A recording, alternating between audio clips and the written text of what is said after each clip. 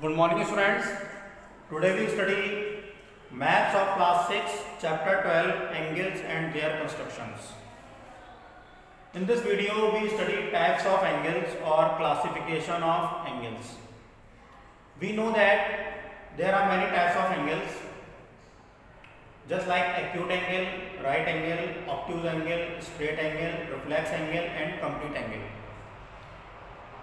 we describe these angles by this table. First of all, serial number 1 to 6. Types of angle. First one is acute angle. Acute angle is measure greater than 0 and less than 90 degree is known as acute angle. So less than 90 degree is known as acute angle.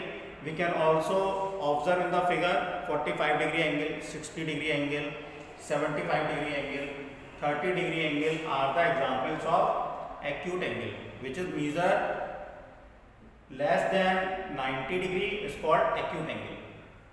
Second point is right angle angle. Right angle. So right angle, the angle measure 90 degree is called right angle. This is the 90 degree angle PQR. See in the figure.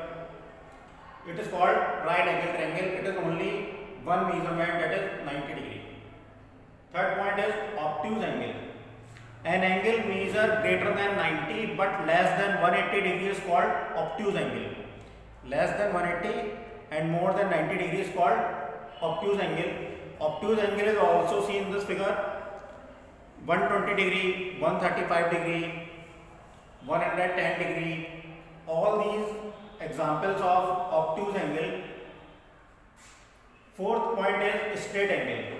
The angle measurement of 180 degree is called straight angle. So only 180 degree is called the straight angle. It is given in the figure M and O is a straight angle.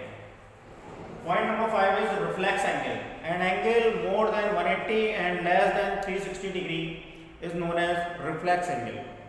Reflex angle measurement from more than 180 that is 210, 240, 260, 270 and 300 all these angles are called reflex angle. It is given in the figure ABC is a reflex angle of 240 degree. Point number 6 is complete angle. Complete angle is measurement of 360 degree. So the angle measurement 360 degree is called complete angle. It is also given in the figure AB AOB is a 360 degree angle that is called complete angle. So student in this video we study types of angles and classification of angles on its measurement. Thank you so much students.